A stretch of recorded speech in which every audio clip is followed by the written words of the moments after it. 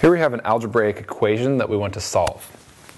The equation is 6 times x plus 4 equals 28.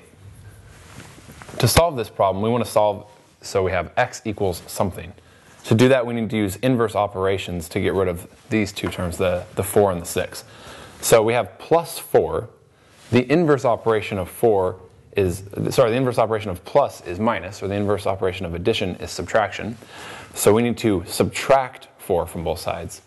So we have minus 4 and minus 4. That gives us just 6x equals 28 minus 4, which is 24. And now we have this 6 times x.